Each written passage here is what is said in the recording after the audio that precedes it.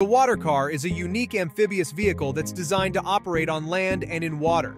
It is a fascinating blend of a car and boat that is made possible through a retractable and waterproof hull, propellers, and other marine components. It has the world record for highest top speed on land and water at 127 and 60 miles per hour respectively. If you're looking to shell out the money, water cars cost between $135 and $200,000.